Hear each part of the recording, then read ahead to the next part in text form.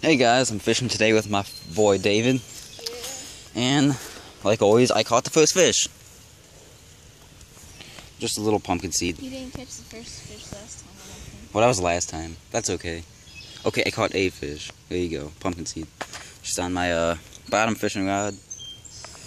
And I'm, bo I'm bobber fishing for anything that bites, and I'm bo bobber fishing for crappie and bowfin. Hey, you should show him my rod. That's insane. Yeah, David, he left his stuff in his mom's car, so he has to use this. And he put this huge reel on for like salt water on this little pole, five feet. We'll come back you get more fish. Bye bye, fish. Yep, he's gone. Guys, and we got another fish here. Another pumpkin seed. I just set my pole down, the bell started going off, and I pulled in. This one's way smaller. Whoops. And he's gone. Just on like crawling on a bottom fishing rig next to this wall thing. Okay, this time David's got a fish, guys. Yeah. It's a little bluegill, if I saw it right. yeah, it is. Let me see him.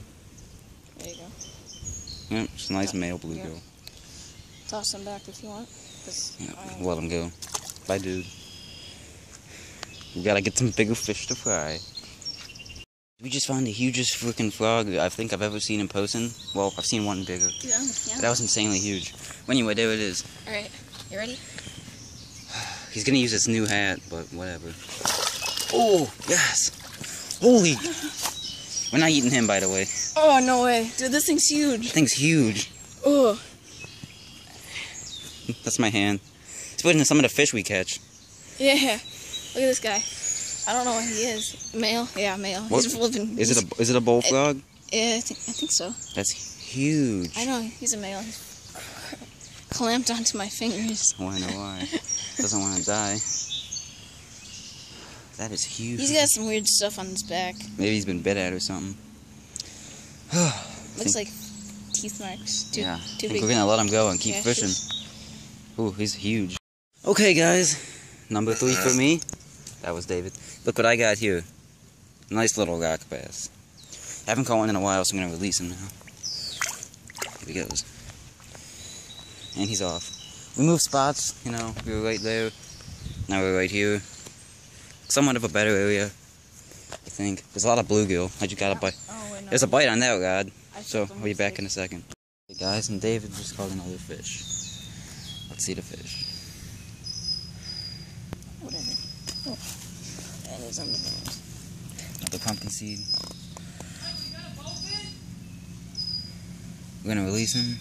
Yep, we've caught a nice blue. I caught a nice bluegill earlier. Mm-hmm. Wasn't able to get on camera though. Okay, got. Okay, guys. So we move spots back to this spot where we catch, where we usually fish, right by the bridge. First fish I catch, nice seven-inch rock bass. Let's get him back in the water. If he, oh, he darted off. Perfect.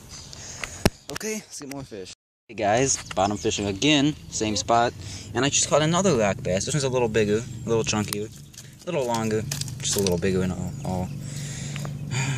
Yeah, I might, I'm probably gonna release him. Might eat him. Yeah, it's a nice one.